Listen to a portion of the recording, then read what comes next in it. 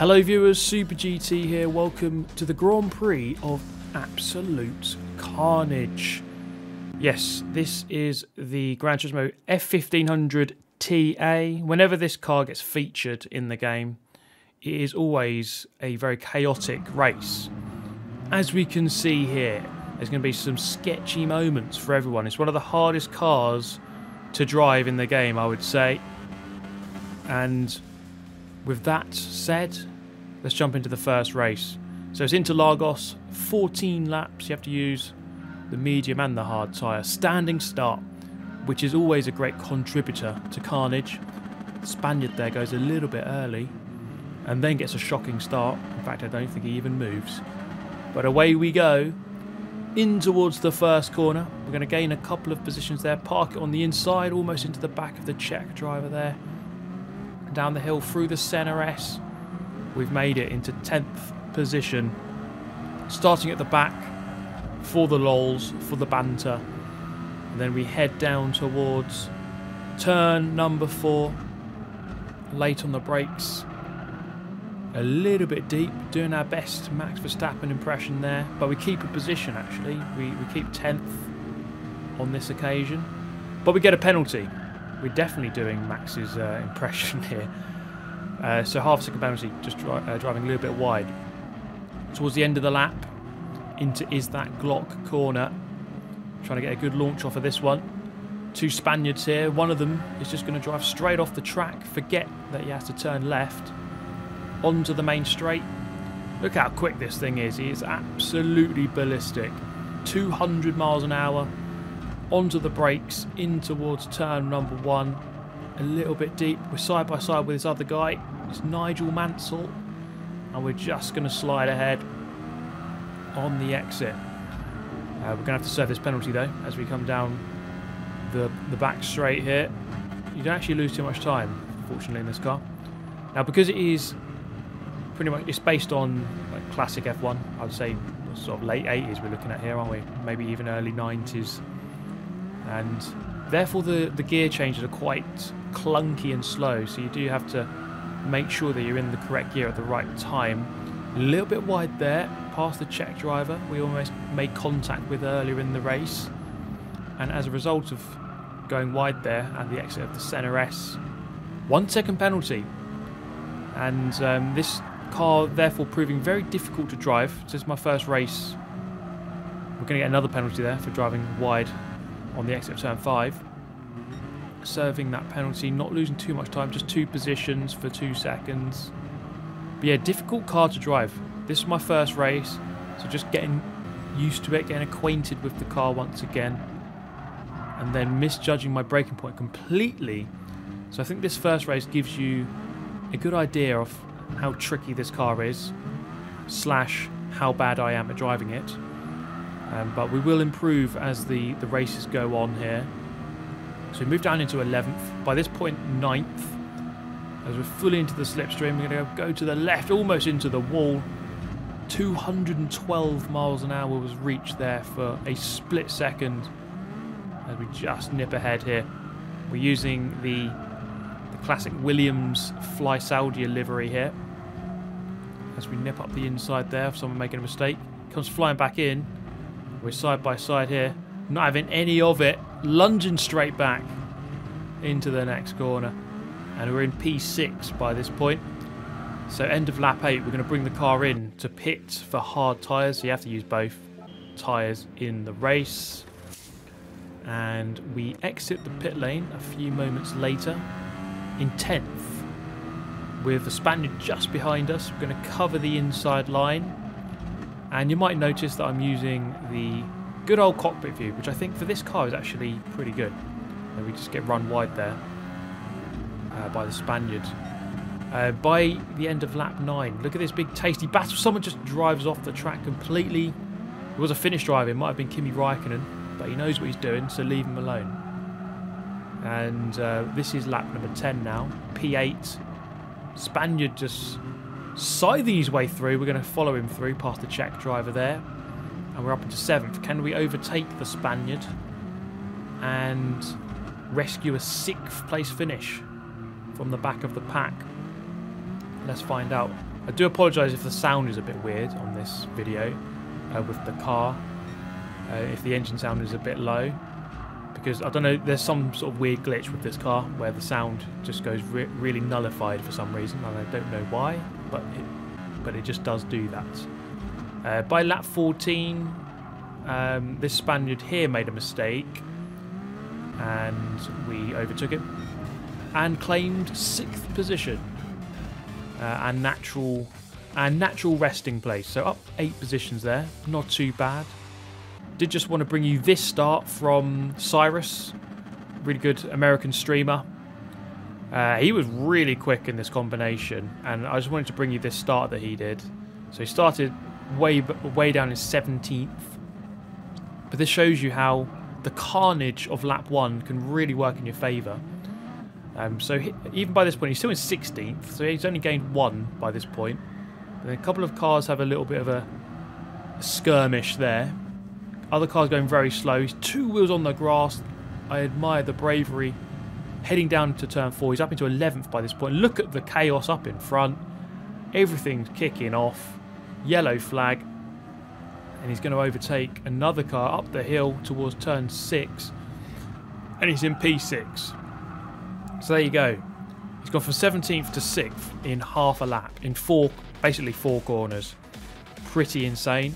We're going to try and replicate that here. We've gone for the Mercedes livery this time trying to replicate Lewis Hamilton's drive from the back of the pack let's see if we can do it. And uh, decent enough start I'm going to head towards the inside line here.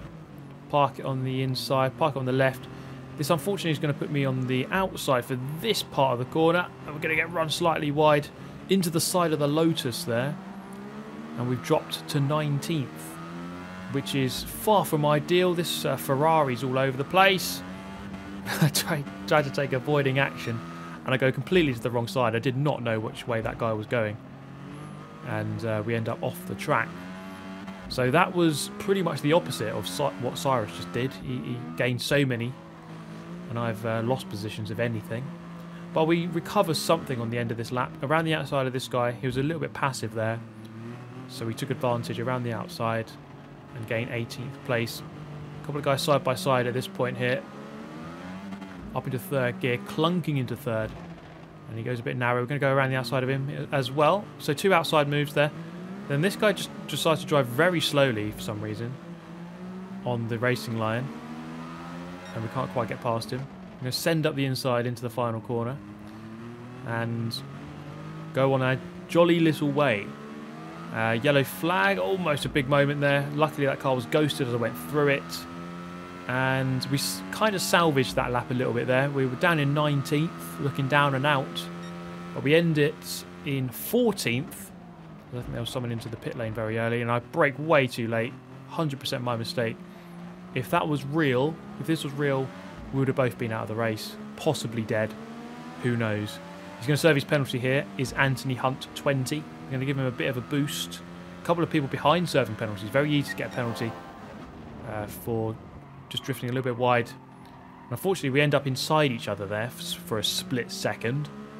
And it doesn't end well for me as I'm going to lose a further position to the Lotus coming back into the picture. And another one here as I get, um, as I become a victim of the old switcheroo. Actually, no, not quite. Not quite. Keeping 15th. So things a little bit tricky by this point. Um, having to save fuel as well. You might notice that bottom right of the screen. At points of the track, going into a leaner mix as this car is rather thirsty for the old petrol. Down the inside into turn 4 and that's 14th position. Okay, we're going to try and make some progress here if at all possible. I just remembered to change the viewpoint. For some reason I was in the the other view for the start of the race. Anthony Hunt just decides to drive a little bit wide there and we're going to gain 12th. By this point, end of lap number 5, the Finnish driver all over the place. We're going to look around the outside. Not quite going to work there. We're in ninth place by this point in time. So lots of different strategies on offer in this race. As um, you do have to do a pit stop. And you can pretty much do it whenever you want. Well, you can. but uh, the tyre wear allows you to do that. Up the hill, onto the main straight for the fifth time, or the end of the fifth lap. We're on the outside of the Finnish driver here. So we're going to go side by side into, the braking zone of turn one. Try not to outbrake yourself. We are still side by side. It's good racing, and he's going to claim the position. Going to go for the old switcheroo. Not quite going to work there. Good little battle, though, between the two of us. We're going to try and maybe nip past into turn four, which seems to be one of the favoured overtaking opportunities on the lap. And he's left the inside open. So we're going to get on the brakes and move up into eighth. Good little battle there with that guy. Good fun. And now we're going to home in on the Norwegian driver here. He's looking a little bit slow, made a mistake. And and he just drives wide there. I can promise you there wasn't contact. He just, just steered left on a right-hander. End of lap 6. Going to bring the car in. P7 by this point. On to the medium tyre. So the stronger of the two tyres. And we're going to go from here to the end. And we're just checking where the next driver is as we exit the pit lane. It's going to be our fellow Brit. He is going to go past and move into 12th. So I'm down to 13th by this point, but we are on the strongest tyre for the rest of the race. See if we can bring this one home in a well into the top 10 ideally. Up the hill, going to look for the move. Not quite going to happen. Get very close to contact. But this car is very difficult to drive, mainly because it is so powerful but of course, you know, sort of classic F1 cars don't really have all of the refinement and all of the driver assists and all of that kind of thing to, to help the driver. So it is a bit of an animal, this car. It's got a lot of power. If you put it down in the wrong way, in the wrong gear, at the wrong time, you are asking to meet our good friend Barry Arp. And he is uh, a very popular guy whenever this car comes out to play. Um, by this point, we're in 10th. This car just comes out of the pit lane just in front of us. And is he going to be able to stay ahead? Yes, he is. Just shows you the importance of any half a second or a second that you can gain.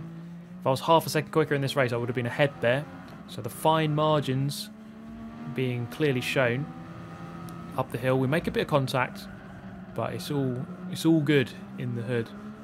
As uh, we're going down to lean mix four. So this middle section is where we're trying to save fuel. Not as many acceleration zones, so you just need to you can save the fuel there and then use the power mix on the straights. Down to three for this for the center S. Then we'll go back down into one for the exit onto the back straight. So this guy getting a bit of a poor run, almost into the back of him. The closing speed was pretty big there. And I think he was just changing gear on the exit. So if you don't change, ideally I think in this car you need to change up into third gear before you exit a lot of these corners. As I just exactly don't do that there. I do it. I, do, I go against exactly what I just said. But for a lot of the corners onto the big straights, you need to be in third gear because if you wait, the, the gear change is so clunky and slow, you lose a lot of time. So you have to time your gear shifts. Very, it's very important to get that right. So up into third before we get to the apex there of the final corner. And then you can tell when people don't shift up early because they get a really poor run out of that turn onto the back straight, onto the main straight, sorry. Um, so we've got a good little battle going on here. Sixth place is in sight, trying to follow the French driver through. So we formed a bit of an alliance here as we're both on the stronger tyre trying to make our way through the pack against the guys who are presumably on the harder tyre and struggling towards the end of the race here as we head down into turn four. Drinking game for back straight and turn four. You'll be absolutely trolleyed by about this point in the video if you want to rewind and start again. Now in towards turn one up behind the German now.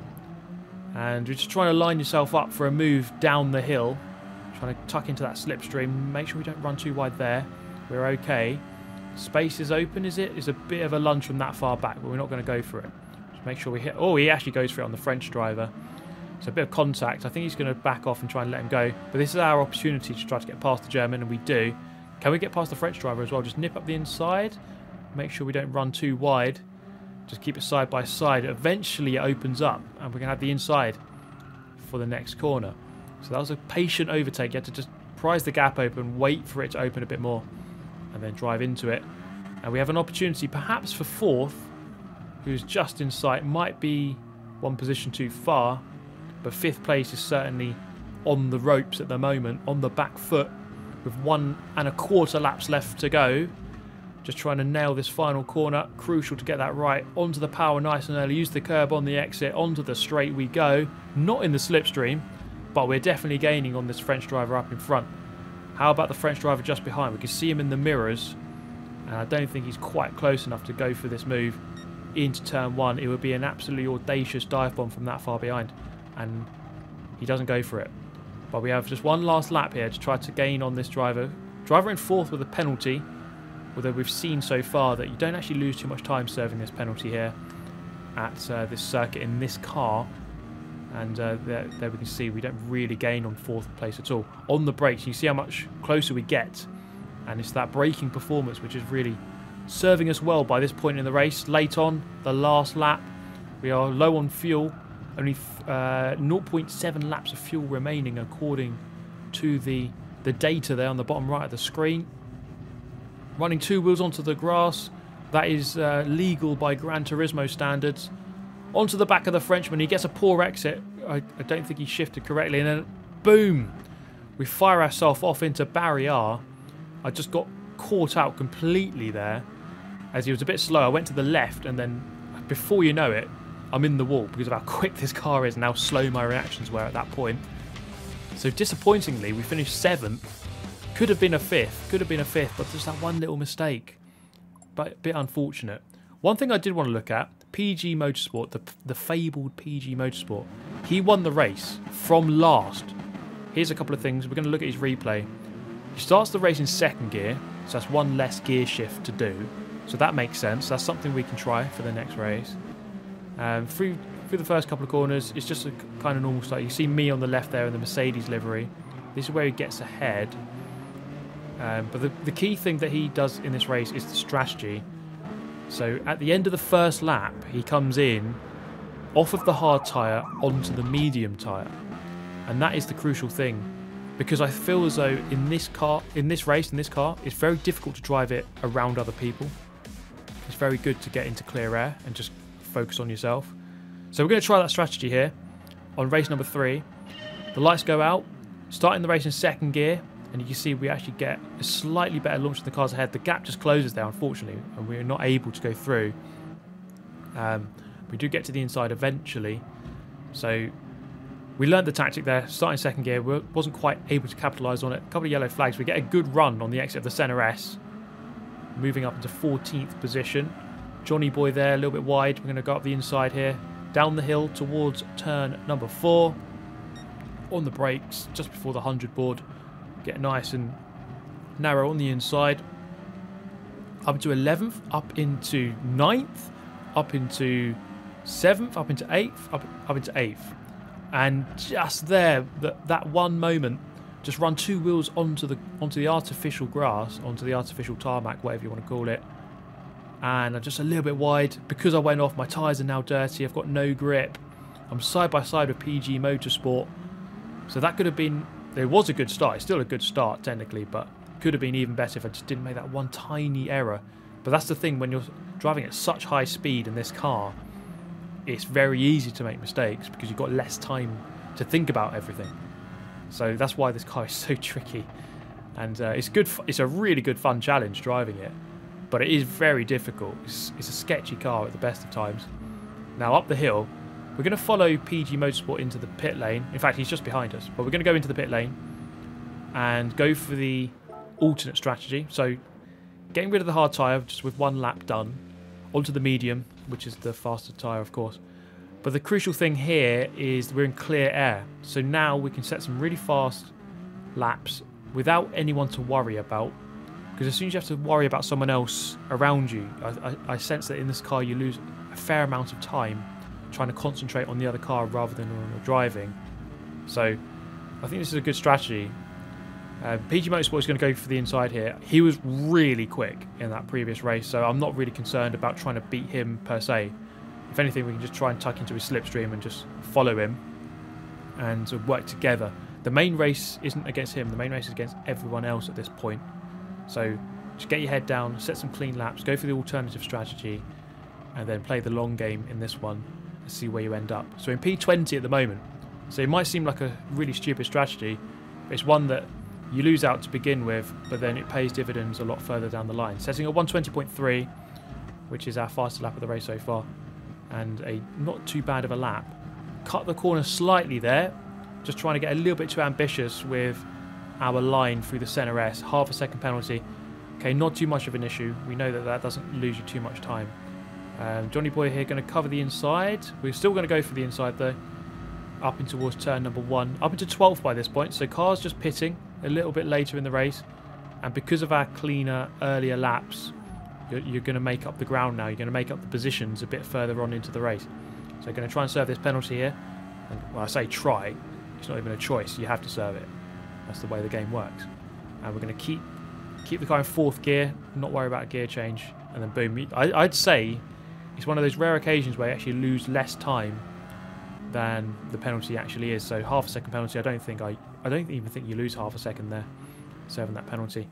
In P12 by this point, on lap six, and just trying to make your way through the traffic, if at all possible. I'm going to go for a big lunge there. Still meet the apex quite nicely. And that's 11th position now registered. Down towards the final corner. And we're going to hit the apex quite nicely in third gear. Get on the power nice and early. Could have done it a bit earlier there in retrospect. And by this point here, a few more people pitting. As you can see, we're going to move up a few more positions. Um, P5 by this point. So lap 9 and into P4 in fact. So the positions coming thick and fast as the race goes on as people go for their pit stops. This is the final lap, and the thing I noticed is that yes, because we pitted so early, your tyres are going to be all over the place by this point. So I'm really struggling. Big moment there, huge moment of oversteer. Just managed to correct it in time.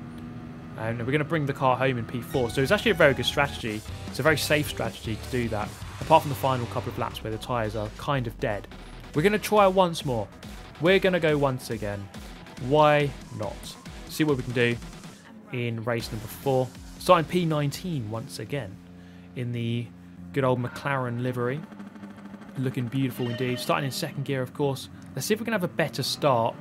I think that uh, the starts have been good so far, but they could be great. I want to have some great starts, not just merely good ones. Uh, so through the first couple of corners here, it's all kicking off. There's a lot of carnage. We're going to gain a couple of positions on the exit. You Line yourself up for a good exit. Up into P14, couple of cars spinning out all over the place. Not sure which side to go here. Try to go to the right, doesn't quite work out. I'm in P11 though, that's not too bad. As we head down the hill, and we've got a couple of cars on the inside who gets kind of skirted wide as if it's a bowling alley. So I'm in P11 still, up the hill, P10 now. So we've gained nine positions already, that's not too bad at all couple of cars here. The Portuguese driver and the Belgian are going to drive slightly wide. We're going to try and follow PG Motorsport through. We're at P9 now. We've gained 10 already. Okay, I'll, I'll, I'll take that. It's not too bad at all. Uh, so through the infield section of the circuit, trying to keep the car nice and controlled. It's very difficult to overtake here, especially on lap one. It kind of settles down by this point of the race, about three quarters of the way into lap one. So people into single file by this point. Now, I made it my point that I was going to do maybe a couple more laps compared to PG Motorsport, just mainly because of the, the tyre wear at the end of the race. I was thinking maybe instead of just doing one lap on the hard, let's do maybe two or three. That would make it a little bit easier towards the end of the race. Uh, so he's going to go in for his normal pit stop that he does there. And to be fair, it's a good strategy. It works. Starting at the back of the pack, that's a good strategy. And then I just completely outbrake myself in a really stupid mistake in towards the first corner. We got overtaken by the Portuguese driver here in the R4M factory team. Heading down towards, um, well, we're going to teleport head here to a yellow flag. Someone getting teleported back in time. And we're going to move up into 8th. So end of lap number 3, we're going to go in. And now we're going to go into the hard, uh, the medium tyres. So it's a bit of a better split. 11 laps on the mediums rather than 13 not much of a difference, but I think uh, you just cut out those worst two laps on the mediums at the, at the end of the race. And it was pretty tricky in that previous race trying to drive them. Around the outside of this guy, nice little move there, just capitalising on his mistake that he made. And he's going to have a good run on us down the back straight, is he? He's close. You can see him in the mirrors. I don't think that's close enough to go for the move. So we're not going to defend it. And we're going to get through this corner quite nicely. In third gear, getting a nice drive off that turn before we go back up the hill. On the main straight by lap number 8. Up into 6th place. As again, the race becomes... Um, uh, comes in your favour towards the end of the race. Setting a 19.7 there on lap 7, uh, which is our best lap in race trim in this car. So that's not too bad at all. Um, by this point, this is lap 13, and I'm, I'm in fourth. Uh, this race hasn't quite gone in my favour. I think I've raced slightly quicker than I did in the previous one, but just by virtue of who's in the race and other things, um, I'm still only in P4. But um, you see there we had a huge moment on the exit of, of the final corner, and I do have uh, the Belgian driver just behind for company who's who's clearly quicker. He's been gaining on me over the last couple of laps, so I'm under pressure here to get this final lap completed without getting overtaken. And the tyres are, are pretty worn by this point. This is the 11th lap on these tyres, so you have to keep this car under control. Really be conscious about every little input we make to ensure that this Belgian driver stays behind us. And let's not forget, he can slipstream past us on the final straight going towards the checkered flag. And therefore, you really do have to nail every part of this lap to make sure they're not close enough on the exit of the final corner. Cutting the grass there, the typical lawnmower line through that corner as uh, the Gran Turismo special, we can call it. Obviously would not be legal in reality, but there you go. Uh, Gran Turismo isn't reality, I suppose. It is a video game, after all. Now, through turn 11, the long looping left down the hill, back up the hill in towards Junção. And please do roast me in the comments if that was horrific pron pronunciation. Right, he is very close, as you can see. I think I've done just enough. I think I have. He's very close in the slipstream.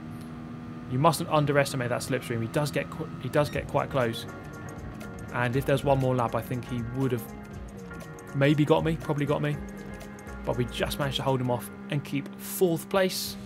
But there you go, guys. A um, couple of races in the, the good old F1500 TA. Always a chaotic car to drive in Gran Turismo Sport, but always good fun. Um, but thank you so much for watching. Thank you for sticking around to the end. Get yourself subscribed if you're not already. But um, in the meantime, have a great day, and I'll see you next time.